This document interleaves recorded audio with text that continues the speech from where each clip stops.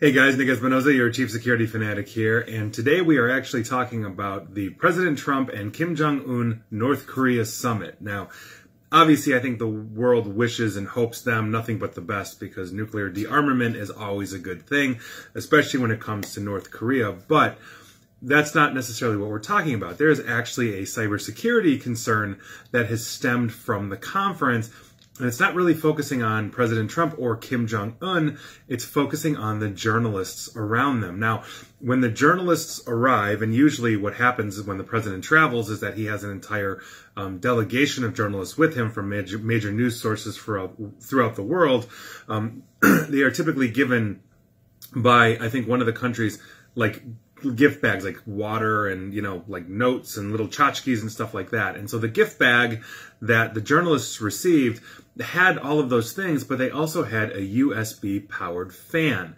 And the reason why that is really interesting is because hackers can easily hijack things like USB fans to insert malware into them. And so when you insert them into your computer, you're bypassing a lot of defenses. And a lot of times zero day exploits will just walk right past virus scanners and infect computers. And so if a journalist plugs in one of these USB fans, it's very possible that he or she may actually be infecting their computer.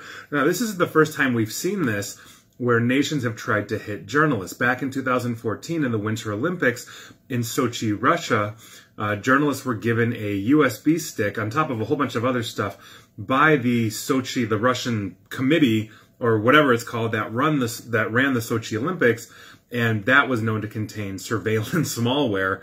And so, if a reporter plugged it into their laptop, here we go. It would give remote access or surveillance capability to the Russians. And so we are looking at this skeptically. And one journalist had basically tweeted out, um, I believe it was a Dutch journalist, had tweeted out a uh, uh, his fan, and then obviously the cybersecurity world kind of exploded, saying, "Don't you dare plug that in." So that is your North Korean news from the cybersecurity side of things. And please like, share, follow me here on Facebook and Twitter at Nick AESP. Thanks, guys.